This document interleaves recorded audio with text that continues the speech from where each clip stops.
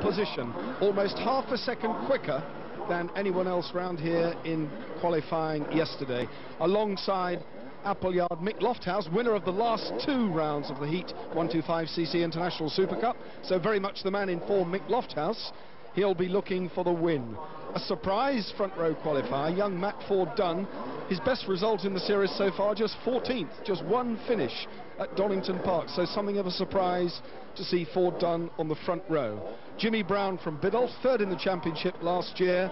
Uh, his best result, however, this year, two sixth places, both at Snetterton and Cadwell. And Chris Palmer from Carlisle, riding number five, lying second in the title standings, just four points behind pole position man Robin Appleyard. And let's take a look at those standings. There it is confirmed and very close. Remember, 20 points for the win. So Patrickson and Chris Palmer joint second on 50. Mendez, Mick Lofthouse, Barry Stanley, but the pole position man leads the chase. 20 more up for grabs with one round still to go. That's Mallory Park in two weeks' time. But we must focus now on Brands Hatch, and they have 12 laps to do, 31.2 miles. Another look at those fastest five, Appleyard in pole, Mick Lofthouse, Matt Ford Dunn, Jimmy Brown and Chris Palmer. There are 40 riders lining up for this, as I said, and believe me, this is going to be fast and furious. Traditionally, one of the closest contested of the motorcycle classes, the 125cc. Everybody but one man is riding a Honda. Uh, the one anomaly in there is a Cobas machine, which is a Rotax engine, Spanish built. The revs rise, they all paddle away. Jimmy Brown almost thwarted Chris Palmer there. Mendez, number seven, had a terrific start on the right-hand side of your picture, now in fourth place. But number five, it was Chris Palmer who hit the front, and look at the lead already. Chris Palmer away up the hill towards Druids. Number five leads. Then the number two bike of Lofthouse. Mick Lofthouse in second. Chris Palmer leads. Fernando Mendez is really forcing hard and Mendez has had a tremendous start. Fernando Mendez up into second place. Yeah, and a really, really bad start for pole position man Robin Appleyard. He was on the outside, and it's debatable whether that is the best position for pole at Brands Hatch. It's a long way round on the outside, and he had a dreadful start, number 11, Robin Appleyard. I'm sure we're going to see him coming through, but at the moment he must be down in about 10th or 11th spot. In second place then, the number seven bike, the pink and yellow machine, very, very bright, Fernando Mendez the young man with the Portuguese-sounding name from South Africa who now lives Northampton these days, lying in fourth place in the championship, having scored in every round so far, and he rode very well here at Brands Hatch last year, I remember, through Dingle Dell, straightening the corner out. Chris Palmer leads, number five.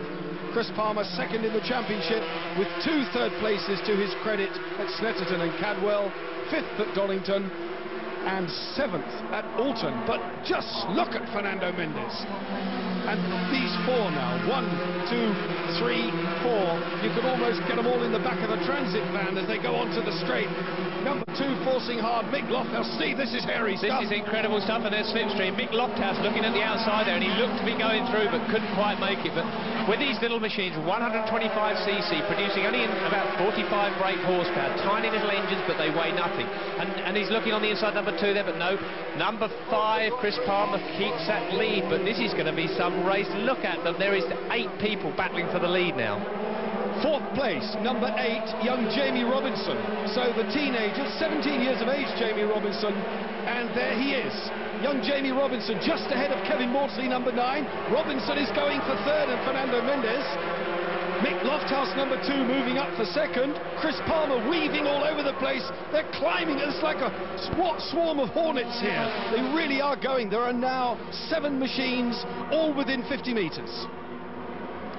And Mick Lofthouse comes through to the front there. Terrific ride. We saw him down that start and finish straight, using every bit of slipstreaming tactics he could. But now the problem he's got, he's the man that's breaking a hole in the air, and the others are going to be trying to get a toe from him. And it makes such a vast difference with these machines.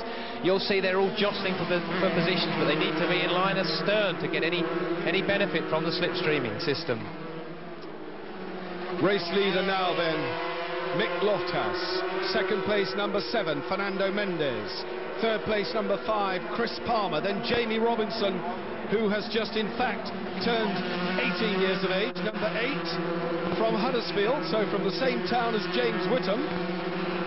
His namesake, having won the 750cc race earlier here this afternoon, or the first of the Superbike legs, shall I say. Jamie Robinson having now to work hard to retain that fourth place. Kevin Mawdsley, number nine, has just gone past. So this is the battle now for fourth place. Robinson moving up on the inside of Mawdsley, and Jamie Robinson almost clipped the rear wheel of Kevin Mawdsley, who chopped across him. This is frantic stuff from the 125s at Brands Hatch. It seems as though They've only got a lap left to do, but believe me, we are not yet at half distance. Well, we're not, but now we see that Robin Appleyard, who had the dreadful start, he's put in the fastest lap of the race, so he's going to be the man that's coming through. He's now in seventh position, and he is charging. But meanwhile, number two, Lofthouse, is leading this race, but I don't think for that long, because number seven is right behind him. Mendez is closing in on him under slipstreaming. Race leader Mick Lofthouse. In second place, Fernando Mendez. In third place now, tis Robin Appleyard, number 11. So Appleyard has more than made up for that dreadful start. He's in third place. Remember, he was pole position man. He was almost half a second quicker than anyone else. He has just gone round and set the fastest lap and he's in third place with this duo ahead of him. Mendez goes in front. Fernando Mendez, number seven, now leads, using all the track. Lofthouse fights back.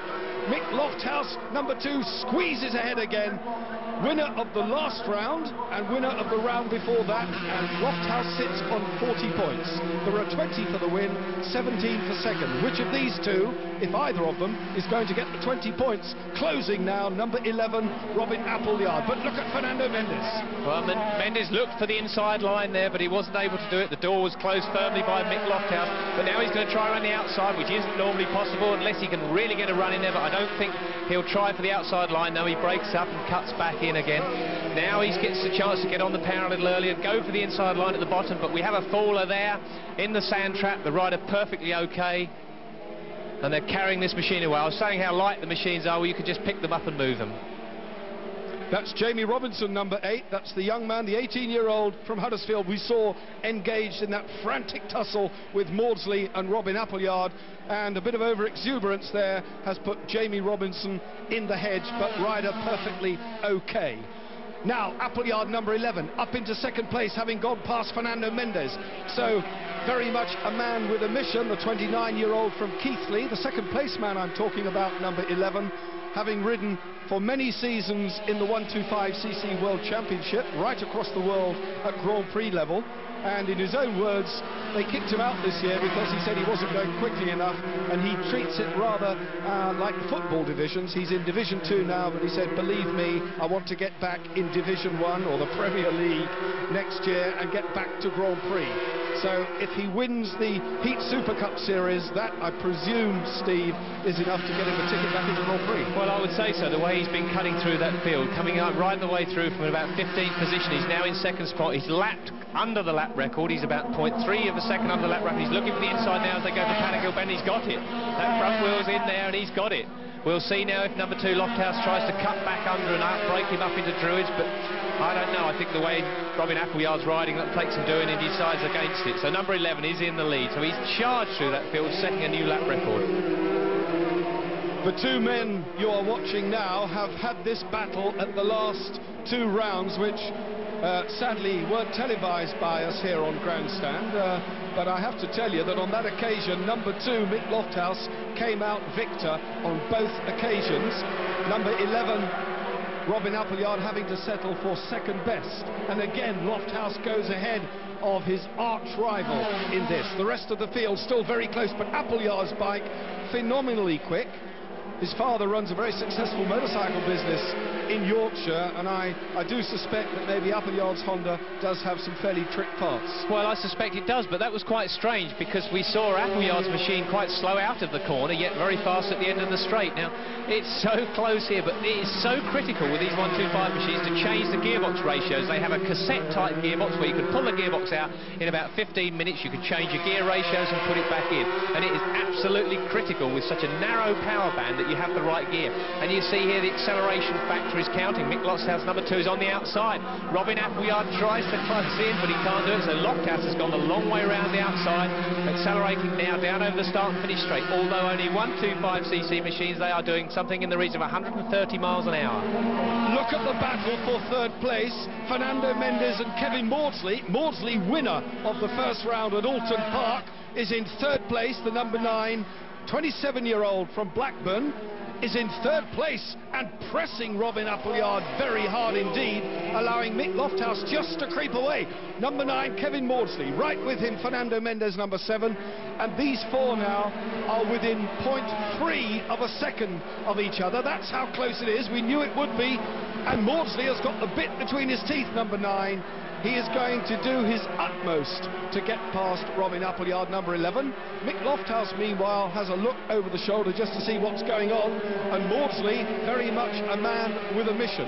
Mawdsley, a win and a third place to his credit, not having scored in the past two rounds. Lying in sixth place in the championship, seventh place in the championship, with a fair amount of work to do. Kevin Mawdsley then, in third. They've now broken away. Fernando Mendez, number seven, has gone.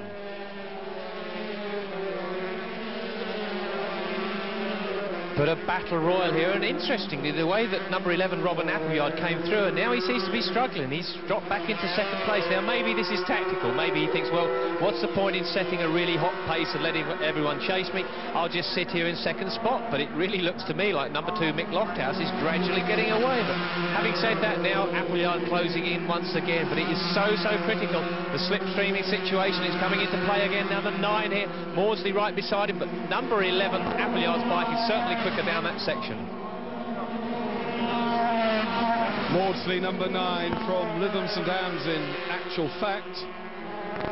Really pushing hard. Number seven, Mendez, who's disappeared from the leaderboard, is now running in about seventh place. And Mawdsley now has elevated himself to second, relegating Robin Appleyard. So the, the World Championship runner is now down there in third place and we have a battle between race leader Mick Lofthouse, winner of the previous two rounds, and Kevin Mawdsley, whose self-confessed nickname is the Angry Gerbil. Quite why he calls himself the Angry Gerbil remains a bit of a mystery to us, but nonetheless, that's certainly what his nickname is. He's there in second, hard on the front brake, and flicking it in with Robin Appleyard underneath him. Brilliant stuff from these 125s tremendous value for money and good entertainment and a cost-effective way to go racing. Yeah, very much so. They're single-cylinder machines. Uh, relatively cheap to buy uh, in comparison to some of the bigger bikes, but uh, and quite cheap to run in actual fact. But some terrific racing, very very close. They're virtually identical.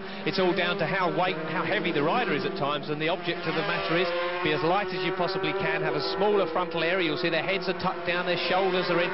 Get behind that bearing, and it can make up to five miles an hour difference if you just lift your head up. It can slow you that much. Kevin Mawdsley's team boss, and it's. Uh, the man in second place I'm talking about is currently making plans for a 1994 Grand Prix campaign for Mawdsley, and he had a fairly sensational 19th place in the British Grand Prix. I've got to put that on ice because this is tremendous. Mawdsley was off the track. Kevin Mawdsley was off the track, the wrong side of the white line. Unbelievably close action from this trio. Down they come to Graham Hill Bend On to the Cooper Straight. Along the Cooper Straight, that says it all. Mawdsley, number nine, very much on the charge. He wants to get past now because he knows Appleyard is breathing down his neck. And I was at the point of saying when they were three abreast at that moment that Mawdsley is lining himself up for a full campaign, 19th in a British Grand Prix on basically what was an over-the-counter machine, hopelessly outclassed in terms of machinery, but was almost in the points. So a good result for Kevin Mawdsley. He's been shoved back down again, though, to third place by Appleyard, who is extremely determined. Yeah, I'm going to stick my neck on the line here. I think Robin Appleyard is playing with them. He's been looking, he's been passing them, it seems to me, it will when he wants to. So it could be that uh, Robin Appleyard, who set that fastest lap in practice, he's just playing around. He's... Uh, he's now not really pushing himself that hard. I'm probably going to be completely wrong, but that's my view at this moment. The front row qualifier, uh, young Matthew Ford Dunn, I said was a surprise qualifier. He's still running quite strongly in 11th place, but his form eclipsed, obviously, by the stunning battle you're witnessing now, and they are breaking the lap record quite regularly here. Incredible stuff, and Appleyard has gone in front into Paddock Hill. Ben Mawdsley having a look round the outside of Mick Lofthouse, who won't like that one bit. And Kevin Mawdsley determined. He's gone through on the tail end of Robin Appleyard up towards Druids. And the three of them, Mawdsley leaning on Appleyard. Mick Lofthouse has gone in front again. But Mawdsley comes off worse. He's still third as they race down the hill. Graham Hill-Ben, the left-hander, onto Cooper Straight, up through the gearbox. Again, fourth gear along here. Just touching fifth before they lay it in to the left-hander of Surtees. Up then, Pilgrim's drop. Mick Lofthouse number two. 25 years of age, Mick Lofthouse and Robin Appleyard. So very much a young man's sport and also a dare I say, a small man's sport. Yeah, there's no point being six foot three inches tall riding one of these because you wouldn't be in the top ten, just purely and simply that the frontal area is too big and you'd be too heavy. But uh, I think Robin Appleyard, he, if he is playing with him, he needs to be a little careful because it's getting extremely close at times and could end in tears. So I would say that uh, in the next lap or so, he wants to start thinking about making a break from it if he's going to. Lofthouse from Blackburn then just nine, just over nine and a half stone, so that underlines really what Steve Parrish said. Need to be fairly diminutive to tuck in behind the perspex and minimise the wind resistance. You become as one with a motorcycle, and the essence of riding one of these 125s successfully is to keep the momentum going and flowing and don't scrub the power off because it takes a long, long time to recover should you lose momentum. Appleyard goes through again in the lead, having passed Lofthouse, this really is cat and mouse. Kevin Mawdsley now on the inside going up to Druids and could well shut the pair of them wide. But no, Appleyard goes wide, Lofthouse back through number two. Mawdsley still in third place. I'm really looking forward to the last lap because it's going to be frantic. Well, I'm not sure if I am. I think I'm going to close my eyes because it could be very frantic. There's no doubt. We're on two laps remaining and number two, Kevin Mawdsley, has tried everything he knows to get away there, but uh, he, uh, he can't make it. So we have Lofthouse pushing hard. They're really going for. But I still think that number 11, Robin Appleyard, is the man we're going to see cross the line first.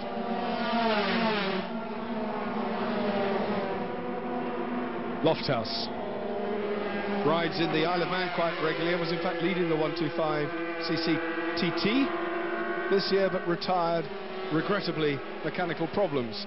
So his, his one ambition is really to, to do that. Mawdsley number nine, Second, Mawdsley goes through Dingle Dell into second place. Appleyard leads. Lofthouse now third. Lofthouse who takes mountain biking as a hobby to keep himself fit for riding the 125 is now in third place and he's going to have to deliver something very special. Could be, as Steve Parrish said, that Robin Appleyard has got this all nicely calculated, but look at Kevin Mawdsley, number nine. Mawdsley sweeping around the outside, has got, and now three abreast over the line. Mick Lofthouse is on the inside at Paddock Hill Bend. Appleyard does them both on the brakes, and Mawdsley now and Mick Lofthouse side by side. Mawdsley going all the way around, almost off the track again. Hectic stuff, and he's got his nose in front. Kevin Mawdsley is in front. Sensational 125cc riding. Is Mawdsley on his way then to his second win in this series so far? the penultimate lap. Kevin Mawdsley leads. Robin Appleyard having led on and off. They've all had their turn at the front.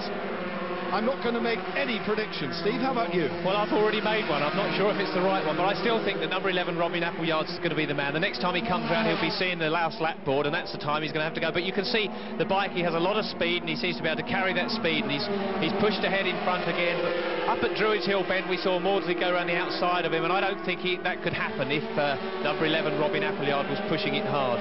It seems to me that he's playing. Well, it's a very brave game he's playing because Mawdsley is not a man to treat lightly. Mawdsley now has gone through again, and look at Mick Lofthouse showing Robin Appleyard his front wheel.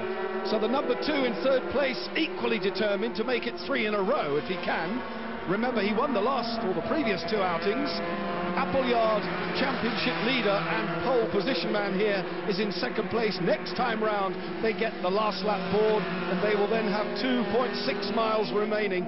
But that bike of Appleyard's is desperately quick in a straight line, and he's just illustrated that by going in front again. Kevin Mawdsley knows what he's got to do, however, and does it very succinctly as he rockets into the front again up towards Druids, and Appleyard's got the inside line. Steve, this is thrilling stuff. Yeah, well, this is exactly what I said. Appleyard that time ran into Druids a lot quicker. He didn't allow number nine to pass him around the outside, and so I think now we're going to see Robin Appleyard. If he's going to go, he's going to go, and he's really going to have to get, it, get the hammer down now.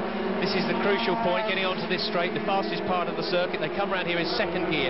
They, they rev these machines right the way up to 14,000 RPM revs per minute, and they really are pushing on 135 brake horse, 135 miles an hour for a 125 machine.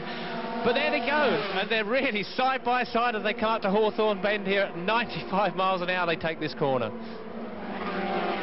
Appleyard leads number 11, but only just from Kevin Mawdsley from Lytham St Anne's, and then Blackburn-based the number two rider, Mick Lofthouse, in third. But Mawdsley is very, very determined indeed. Through Dingle Dell corner. They then come down to the left-hander of Stirling, and Mawdsley, foot off the footrest, just waving his left foot about, is desperate to get past the race leader and take the win here because he's languishing in seventh place in the title and desperately needs the 20 points. Appleyard, however, looking very confident now, but Mawdsley fighting. He's on the inside line. Kevin Mawdsley, can he do it? Almost touched, pushed Appleyard wide, and I think Appleyard got it from Lofthouse. Mawdsley had to settle for third, but what a blistering finish to a stunning race. No mistaking the winner. He knows it. We know it. Robin Appleyard. A great result and a good second place, I think, by Lofthouse. I think so, but that was very, very close. I'm not even sure if Robin Appleyard knew how close that was. He really did play that pretty cool, and uh, my man won. Well, Steve, talk us through it. It looked well, as though Mawdsley was going to do this. Mawdsley was pushing hard, and, and Appleyard there is on the outside, and that would normally be the fast line, but Mawdsley just got the slingshot out of there. Number nine, you'll see him getting on. He's drifting out wide. He's trying to get on the fast line. At that point, Appleyard has to pick the machine up, but he's not moving a lot because if he shuts the throttle for a split second, he wouldn't have won the race, and as it was, he won it by half a wheel, if that. What an incredible race, and that was just superb racing. And number two, they're really pushing through. Unbelievable stuff.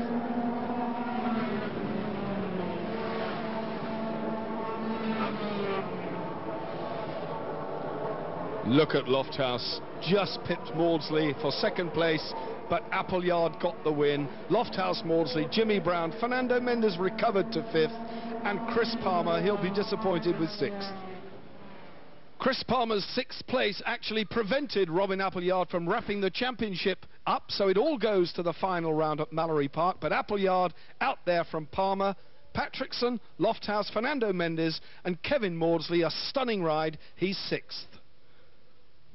That was a great race. Those riders are absolutely fearless.